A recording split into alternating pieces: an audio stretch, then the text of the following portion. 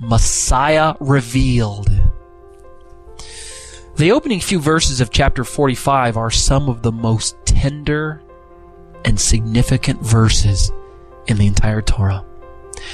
Having portrayed the life of an exiled and abandoned brother, this family reunion, in my opinion, will only be excelled by the greatest family reunion in the history of mankind. What is that? Listen up, listen carefully. The reunion, the reuniting of Yeshua and his immediate family, that is to say, the Jewish people. That will be the greatest family reunion ever. Let's examine the similarities below. In our Torah portion, Yosef instructs everyone except he and his brothers to leave the room.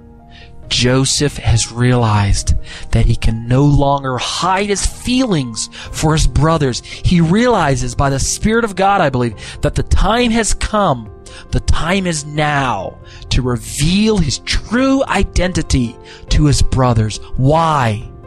Because his brothers have come to the place where their hearts are tender, their souls are aching.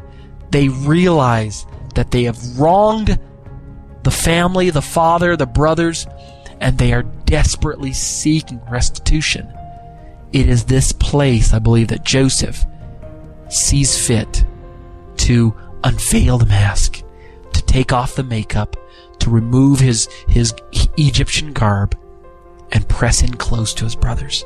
In this suspenseful moment between immediate family members, Joseph discloses his true identity to them.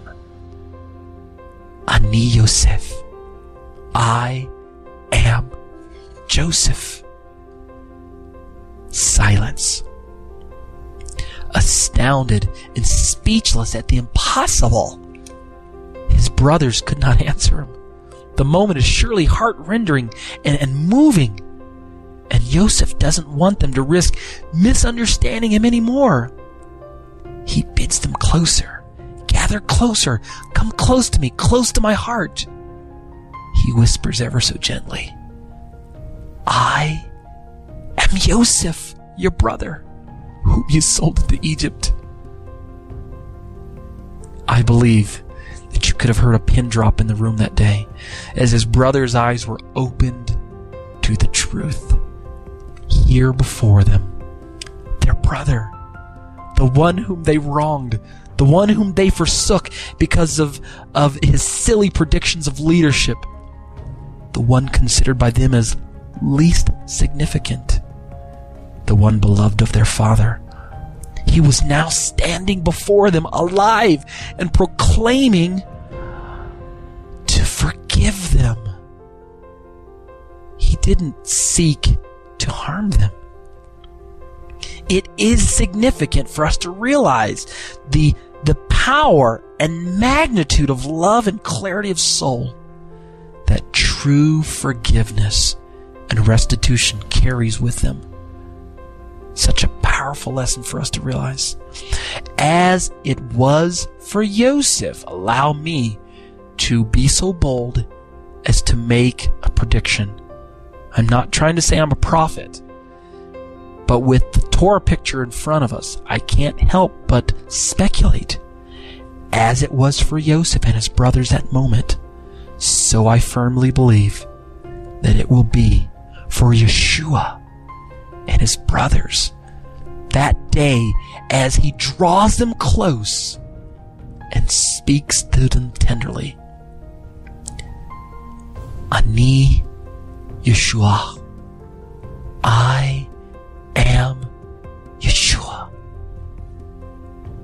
first, it may also seem incredible to them as well.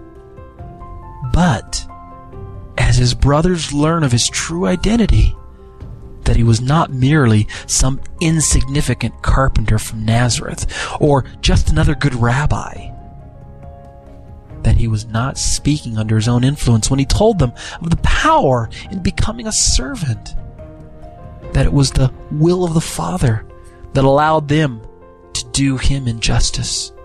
that he had been placed in a position, Jesus himself, of suffering and leadership. Why? To preserve their very lives.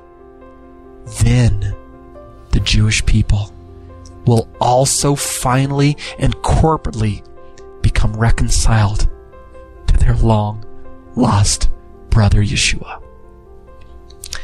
Amen. Won't that be a wonderful day?